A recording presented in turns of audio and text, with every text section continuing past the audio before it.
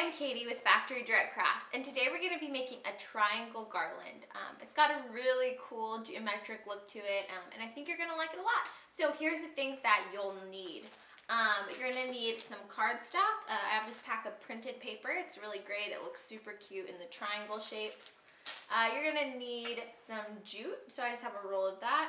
You're going to need a hot glue gun and you're going to need a cutting board and a long ruler and a pencil. Uh, so let's get started. So the first step is cutting your triangles. So what you're gonna wanna do is take your piece of cardstock on your cutting board and measure a two inch strip. So I'm just gonna get two inches and I'm gonna cut that. Now you can cut as many strips as triangles that you'll need for your garland, so that'll depend on the length that you wanna have.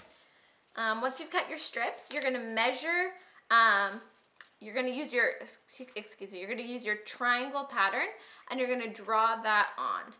Um, so I'm just going to go ahead and trace it. And this triangle pattern is two inches tall by four inches wide.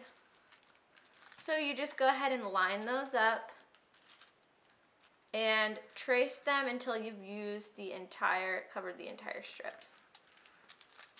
So I'm just tracing those on. Perfect. Okay, and then you're gonna cut out your triangles. So go ahead and take your pair of scissors and just slice right along those lines. Um, it works out good when you trace the triangles on because you actually get double. One here, here, here, and here. And that's why the strip works out so good. I'm just gonna cut out my triangles. And then on the end of the strip, you actually get an extra mini triangle. And we're gonna save those two and we're gonna use them staggered because I think it looks cool like that. Um, so once you've cut out your triangles, the next step is gluing them onto your jute. So you're gonna go ahead and roll that out um, you're gonna start about, leave about two feet at the end, and we're gonna go ahead and just tie a small knot right there. Then we can just use this as a hanger, so that works great. So now we're gonna start gluing on the triangles.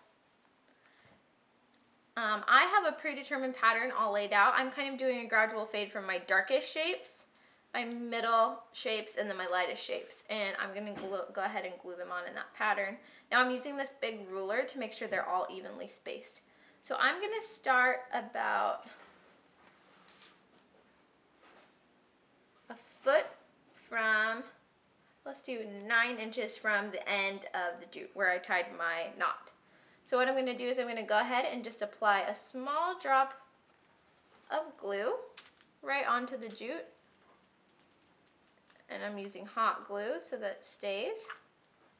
And after I apply that, that glue, I'm gonna go ahead and secure my shape on there. And you wanna go ahead and hold it down for a while to make sure it stays.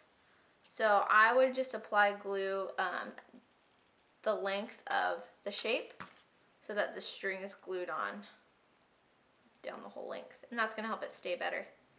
So you're just gonna wait for that to dry. And then we're gonna attach our neck shape. Now I found that it looks best if they're slightly overlapping like this instead of right next to each other. So we're just gonna keep that in mind as we're applying the glue.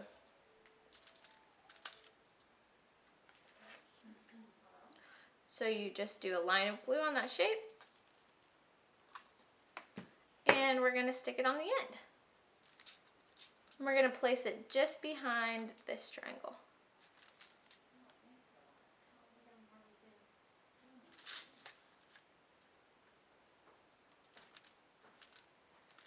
And there you have it. And you're just gonna continue doing uh, this pattern on and off throughout down the whole line of string until you've reached your desired length. And there is how to make triangle garland. I hope you enjoy.